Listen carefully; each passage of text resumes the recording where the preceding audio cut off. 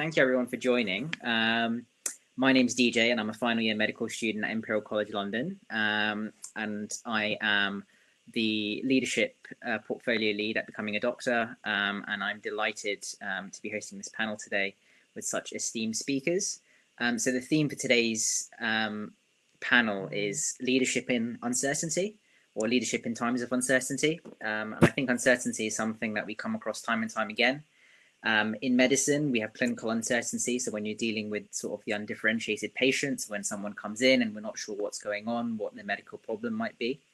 Um, but also more recently during COVID, uh, that's obviously uh, led to a lot of uncertainty um, with regards to how, how hospitals are run, um, a lot of cancellations, a lot of reorganization. Um, and also just generally sort of as human beings in life we have major life events during our careers which are obviously very very long from the age of 18 all the way up to through consultanthood. Um, and we often change careers we take time out things happen. Um, so also hoping to talk a little bit about navigating that. And throughout all of this um, touching on how do we develop the skills um, to navigate through these times um, and also uh, help lead our teams um, in whatever in whatever shape that might be. Um, so without much ado, I'll, I'll hand over to yourselves, and uh, if each of you want to um, first introduce yourselves and take it from there. Um, I'll start. Um, so uh, you were talking about people who change jobs. I've got loads of jobs, so I'm going to try really quickly to tell you what they all are. So firstly, I'm a respiratory physician, and I specialise in lung disease um, which is really niche, um, but I find fascinating. Um, and I'm not going to talk about that today. Uh, my leadership roles uh, generally uh, focus around education. So I've been a supervisor, a training program director. I was the director of medical education at my trust, and now I'm a deputy dean, and I look after the Southwest London trusts and all the trainees with, within those on behalf of HEE. Hello, Sophia. Um, I have a number of. That's all right. I said you'd gone for coffee, and given where you're sitting in Chelsea, you may well have gone for coffee. Um, my other no, jobs are. Sorry, no, no, it's all right. Sorry, I'm mid mid flow of my introduction. So I have a load of leadership portfolio jobs. So I look after the Dean's National Leadership Leads Group, which looks after leadership development for postgraduate medical trainees. I look after the flexible portfolio training uh, pro program for uh, HE with RCP. So that allows medical trainees to do one day a week throughout their higher training, stop doing something else. So QI, informatics, education research. So really interesting program. It's, it's fascinating. I wish I had it when I was training. Um, and I've also, until recently, been the clinical lead for physician specialty recruitment. So that was an incredibly challenging task. Um, and I'm just stepping down from that because during lockdown, I decided to change one of my jobs. And from the beginning of August, I'm going to be the Linacre Fellow at the Royal College of Physicians. So I'm changing to a different employer as well. Um, and I'm going to be looking after all the college tutors that do all the work essentially for the College of Physicians. Um, and I'm going to stop there before you all get really bored and exhausted and hand over. I'm not sure whether to Arun or Suveer, I'll let them argue about that. Arun. I think we're going in alphabetical order, so over to you, Suveer.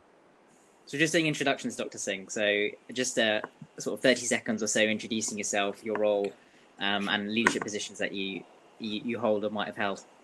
Sure.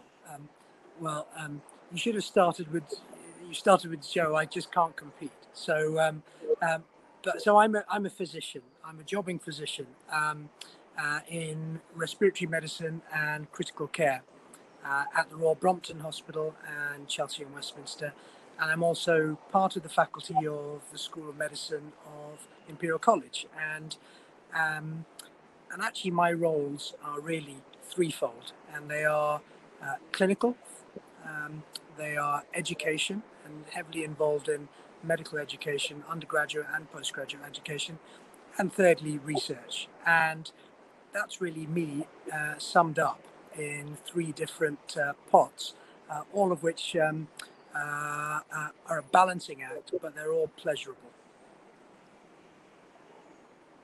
I'll stop there. Thank you, Dr. Singh. Um, and now, Dr. Thiyagarajan. Hi, yeah, thanks, thanks, DJ. And so, am I, please call me Arun. Um, I'm a I'm a GP by background. Um, although I can't confess that I practice much anymore, occasionally, very occasionally. Um, I've my, my main job is I'm the medical director for all of Bupa UK and Bupa Global's health clinics. And so uh, Bupa as an organisation is primarily insurance, uh, but also has a lot of provision, the Cromwell Hospital, uh, and then we have 60 health clinics across the UK, some internationally as well. Uh, and so I'm responsible for risk, management governance, healthcare provision, general practice, and all of our clinic facing uh, offerings. So whether that be with our corporate clients or uh, dermatology, uh, some some respiratory, musculoskeletal medicine, a lot of a lot of uh, different types of offerings within our clinic space. Um, I have keen interest in alternative models of uh, delivery of primary care in particular, which is even more pertinent now in, in COVID. So video consultations and remote consultations, asynchronous and synchronous consultations. Um, I'm a big believer in value-based healthcare um, and changing the way in which we uh, pay or, or, pay or strategy in, in management of healthcare delivery. Um, and I have research experience in in those fields um, and and also in public health. Um, so th- those are my interests, uh, and those are those are that's my primary role, uh, and that's mainly in, in, in healthcare leadership within the, the, organisation that I work for. Cool. Many thanks, Arun. Um, so just getting on, just now that everyone's, uh, now that we all know each other, um, just moving on to sort of the first topic. So your roles um, and the most recent period of uncertainty that we've had, so COVID. Um, how have your roles, um, whether within the NHS or, or outside of it, um, and leading the teams that you all lead, how has that changed um, with such a massive shakeup that that was COVID? So once yeah, I was thinking Suveer should yeah. because he was yeah. totally at the coalface. I, um, Arun, you may have been too, but I definitely wasn't. So I think Suveer sure. should lead the search. Sure, I can. Um, I can do that. Um, it was the most interesting time um, as a clinician that I've ever experienced in 25 years or more as a clinician, um, uh, just because of the intensity of work. Um, but uh, key points for me in terms of you, have asked about leadership. Well, you know, we're all leaders um, when we run teams. Uh, equally, we're leaders in terms of education, uh, and we're leaders in terms of um, learning. Uh, and actually, those three things were really crucial to me. There was a there was a fear and an excitement. Um, the fear for yourself, your own um, uh, health, um, the excitement of uh, being part of a, an enormous team that were all focused on one thing, which was actually just trying to um, save patients' lives. And it was literally a conveyor belt of patients coming in uh, on. We've never seen so many ECMO patients. We became the second busiest ECMO center in Europe um, in the space of a week. Um, and uh, so that was one aspect of it. Uh, it was that that need to step up, uh, the the other important bit on reflection was that people around us, you know, we were uh, there were cardiac surgeons, senior consultant cardiac surgeons, and uh, and, and cardiologists who uh, were repurposed into the role of SHOs, uh, and you were leading a team of extraordinarily experienced and um, expert people. Ex- um, but they were filling in a role and there was that anxiety that you had to overcome very very quickly of hierarchies. Um, i have to say the, the, the level of camaraderie people wishing to do the right thing uh, and coming to you uh, was was really quite humbling but also it was uh, it was a recognition of the need to step up. So every patient was so vulnerable and they were being looked after often by people who were out of their usual roles. And my leadership role actually came in ensuring safety, ensuring that there was standardization of care, and then also the feedback element of it. You know, actually commending people for great work or recognizing a problem, and actually then trying to tra- you know, spread that. Um, but alongside that, there was also the education, you know, of our own ICN respiratory trainees, uh, students, which you know who were outside, and and, and I felt very responsible uh, for medical students who were not able to get into this, and yet they were missing out on one of the most extraordinary experiences of anyone's life. And so, you know, we set up, as DJ knows, we set up um, online teaching a lot around COVID just to try and give people a sense of what was um, going on within the um, the front line. So I think those were my uh, key experiences of, of, leadership. It was trying to uh, manage a huge workload, uh, trying to standardize practice, uh, reassure uh, the shared learning with those who were out of their comfort zone, uh, and also ensuring that um, there was a, um, a learning element to it for everyone who wasn't able to be there. I'll just make one final. Was a very weird sensation of being absolutely full on, you know, 14 days on, on day in day out on ICU, and then being at home because you weren't told, you know, you at, at where it was actually quite sunny and the roads were quiet, and uh, I had a bit of difficulty just coming to terms with that myself. Actually, uh, I got loads of papers written, which was brilliant, but but I actually felt guilty that I wasn't in there, although I wasn't meant to be in there. So anyway, those are those are my reflections on leadership during this time.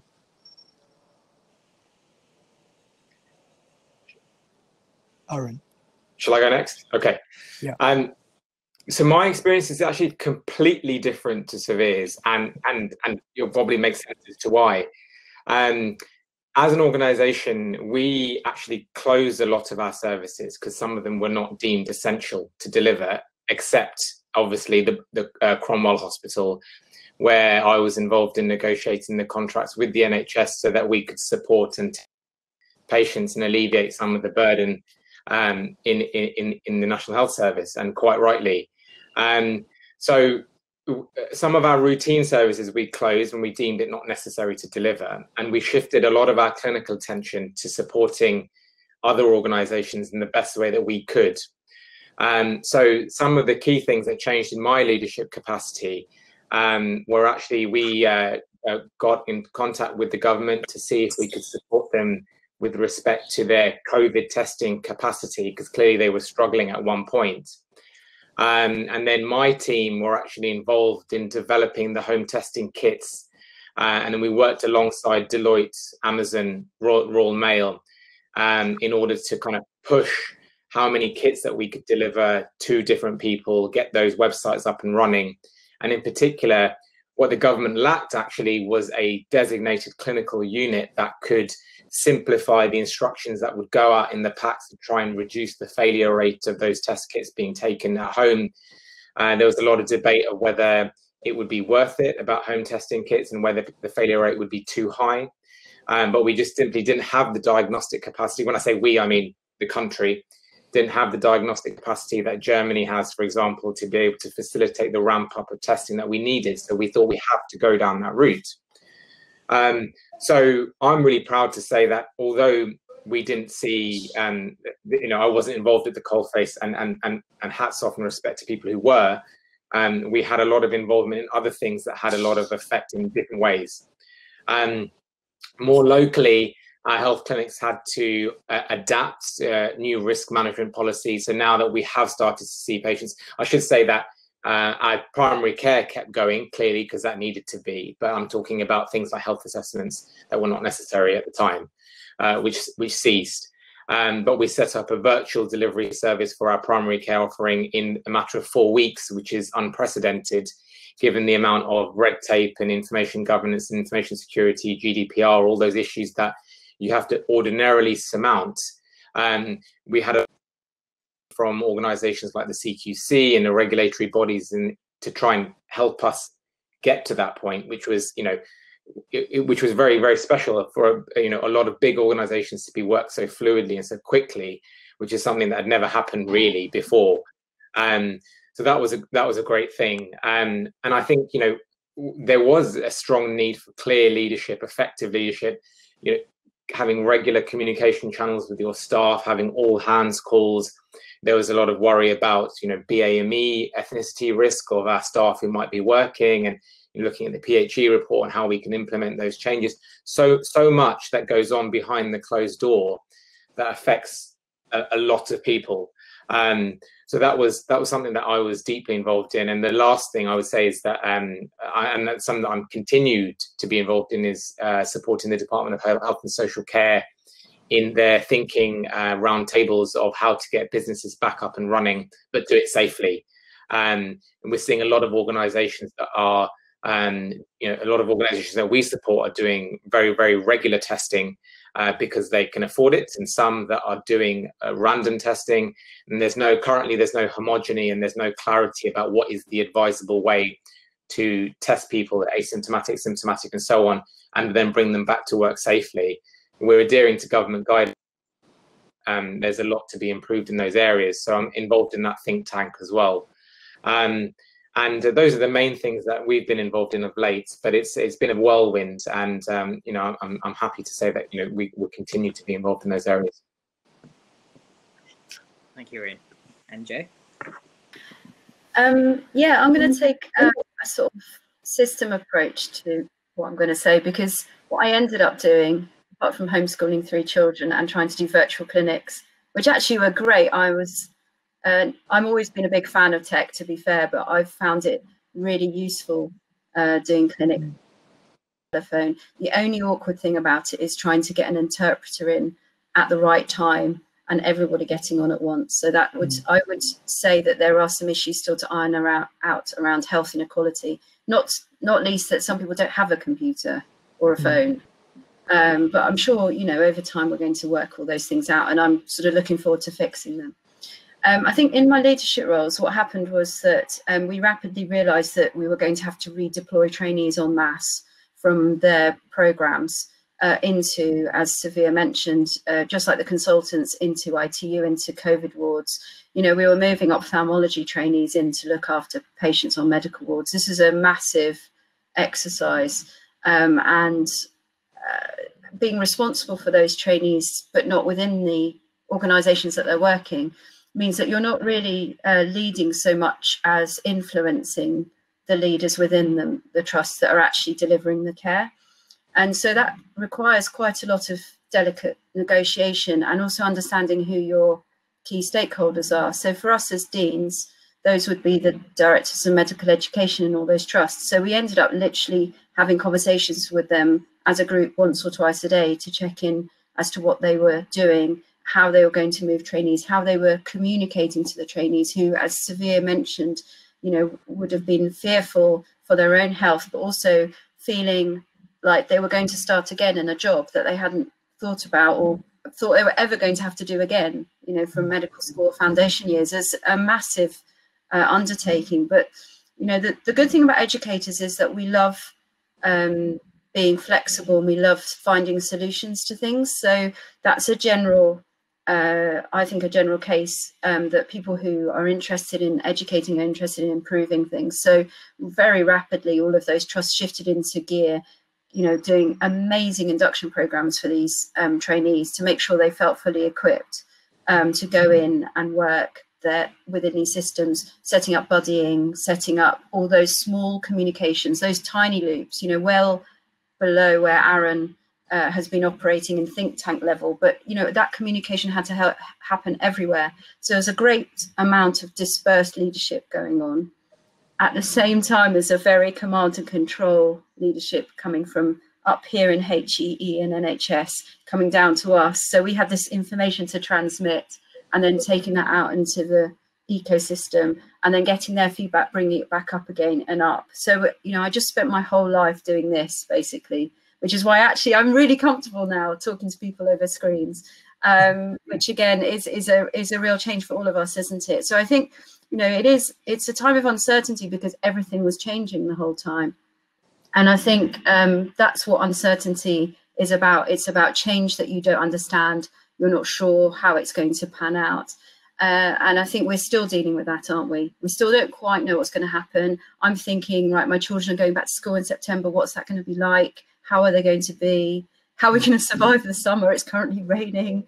Um, so all of this is going to continue. And actually, the whole phrase around it being a marathon, not a sprint, came out quite early on, actually. Um, and you know, Suveer's comment about doing 14 days straight, you know, that ha- had to happen at that time, but that's not going to be sustainable. So we really have to work out how to bed in for this for a little while.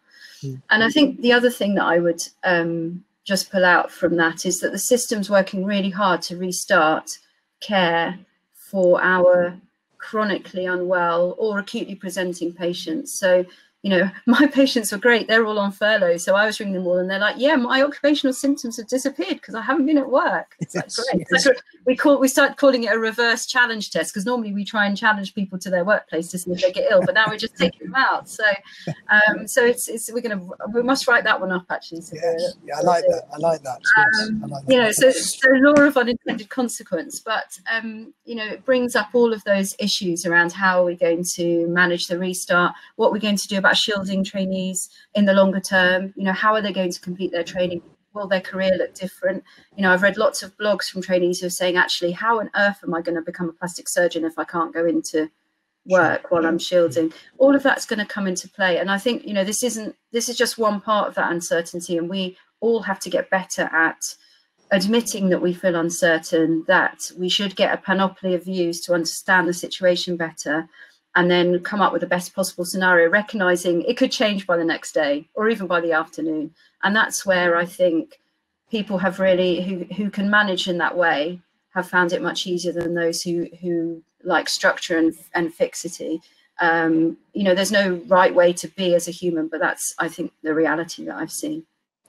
May I just add a really important, interesting point to what Jo uh, Arun said? Uh, what's interesting, in, three of us here, uh, you can almost get the whole overview of from the top to to the coal face, and and and that's very rarely um, very rarely happens in any single scenario, and I think that could be part of why there is this disconnect uh, between you know whatever type of trainee you are uh, and not really appreciating the organizational uh, needs that were, you know, requirements.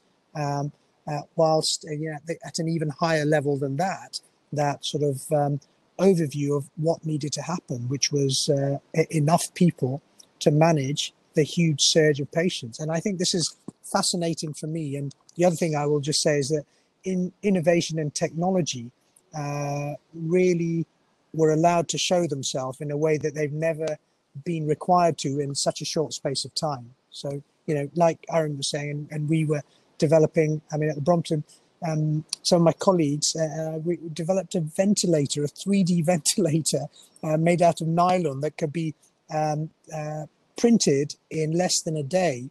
And there were going to be uh, a thousand that could be produced uh, in a day. and we were having, I mean, this is ridiculous. We were having conversations with the cabinet office, you know, in the middle of the night about um, whether this um, uh, could be pushed forward. Um, and um, uh, as it as it happened, it wasn't because MHRA uh, were uncertain about whether nylon, the material that was going to be used, uh, might get into the um, the airways. And so, you know, uh, extraordinary in so many different ways. And I'm sure we've all got our own um, uh, little vignettes of something that we thought, well, I never would have thought that could happen. So fascinating, really interesting. I mean, just to build on that, so I think Siva is actually right, uh, absolutely right, and from a macro, meso, micro level, almost uh, the, the, way we're discussing this, and um, I think there's there's so many facets to this, and uh, one thing that I've seen is that organisations can work well together when there's a necessity for it to to happen and that's something that we shouldn't necessarily forget when we if and when we do come out of this. I remember having a conversation with um, the chief people officer of the nightingale hospitals. Um, and he said you know we had a conversation and i said look you know we're paying lots of our doctors who are not working because we're not conducting essential services. You need a lot of them.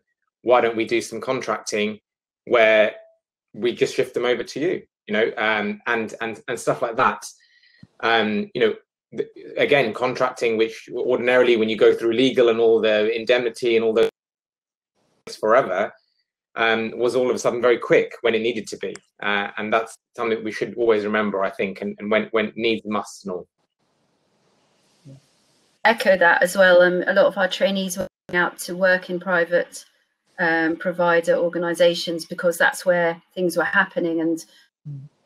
Approved for training by the GMC in I, you know, I was staggered because it used, you know, the amount of forms normally that would take and, mm. you know, meetings and things, and it all just got done because it needed to happen. You know, mm. there was no reason to stop those people's uh, training pathway if they were delivering the service that normally provides their training. Mm. Um, but um, obviously, lots of disruptions have happened to trainees, and we do need to be mindful of the fact that they're, you know, for us, we have a career. We're so fortunate, aren't we? We're in a point in our career where we can do what we do. We we probably, I think the three of us probably do like what we do and enjoy it, and then we can pick other things uh, pick up mm. other things as we want to. But people in training tracks don't necessarily feel like that. And I think that they worked incredibly hard and they were so good at stepping into all these roles and rotas and changing how they worked. Um, and we, I think we do owe them uh, a duty to make sure that their training is back on track um, over the next year or two to make sure that they get to do what they really want to for their future because it's everyone's future was kind of suspended for a bit wasn't it? But i think for them it's going to be really critical to get that back up and running.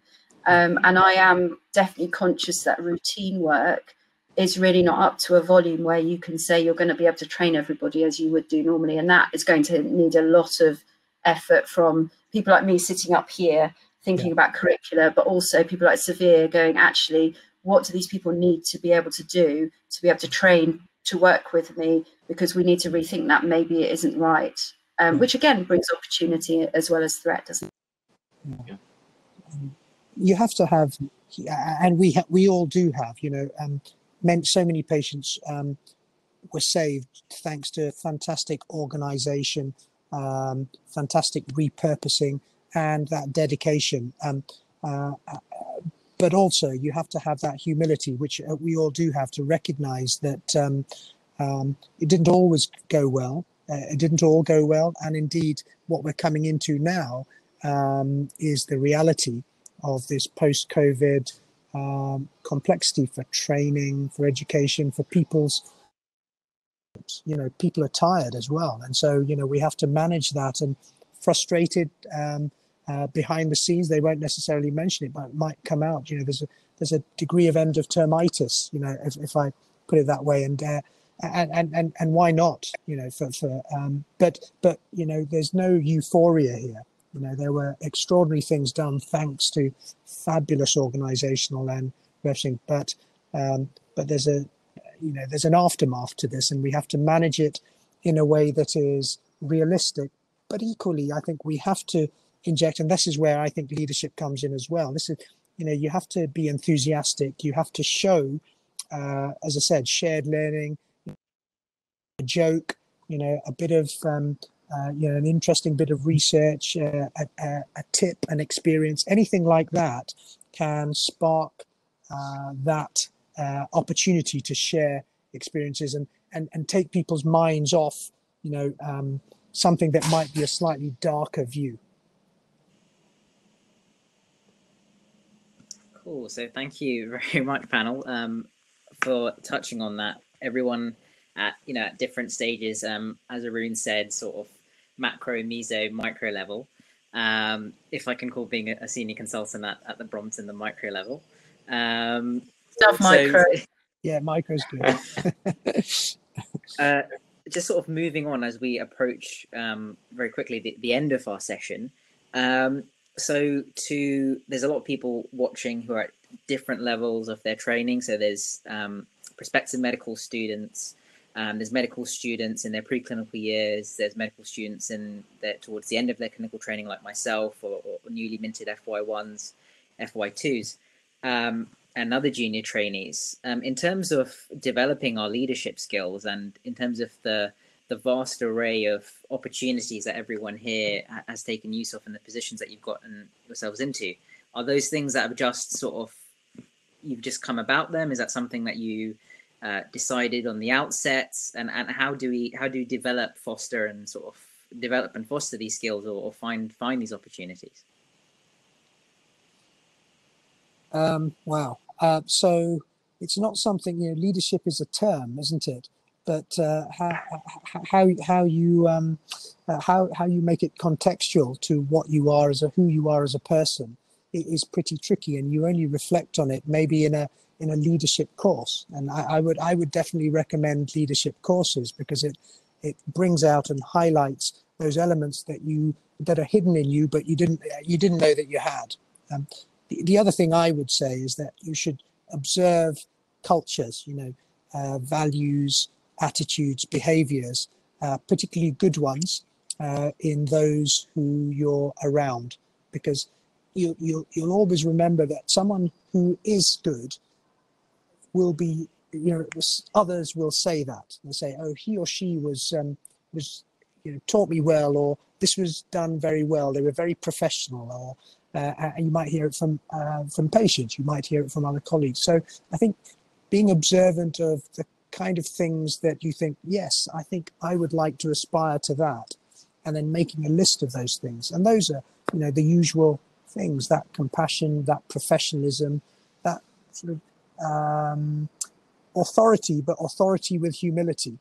Uh, and and I think those are those are things that I've certainly taken from some of my uh, mentors over the years. Um, uh, and now I've been in a, I'm in a position to reflect on them more and, and hopefully be in a position to try and emulate some of that, hoping that others will actually gain from it. Whether or not they do, well, that doesn't really matter. But as long as you try and uh, you know do that uh, and are conscious of what you're doing all the time, you know, any any comment that you make, any bad comment that you make, uh, you need to be conscious of it. So those are my um, those are my thoughts. But I would say a leadership course is certainly worthwhile um, at, any stage in trying to bring out some of those important cultures, values, behaviors, attitudes. I'll stop. Thank you.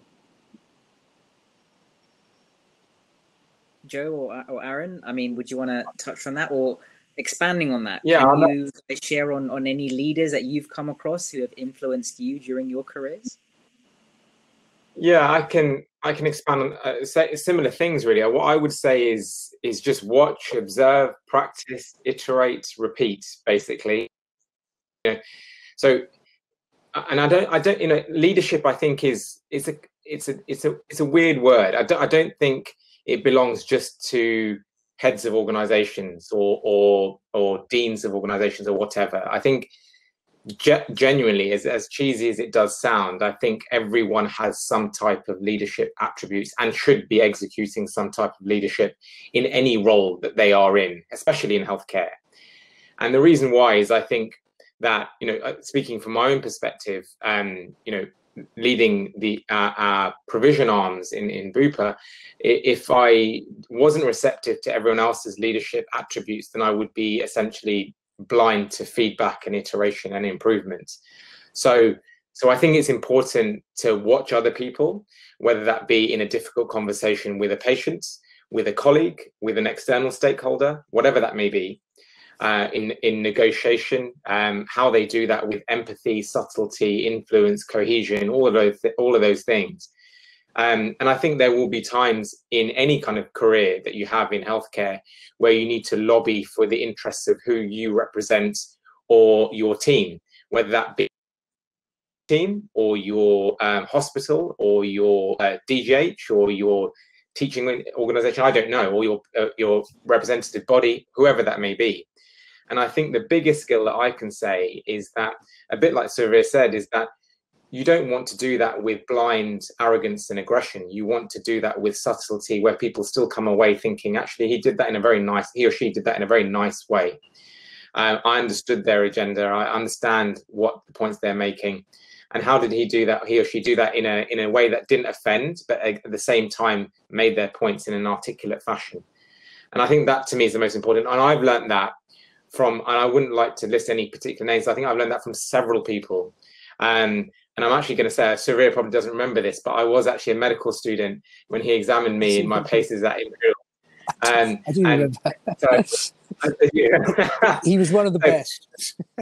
oh, there you go. Uh, so I remember several faces from my past track record. I think that's important because there's little iotas of everyone who you might want to kind of get a patchwork and, and, and develop what you think is the best. I say you think because you'll never be the best. I mean, you, you know, there's always improvement. It's my go, isn't it? You've, you've both said all the clever stuff.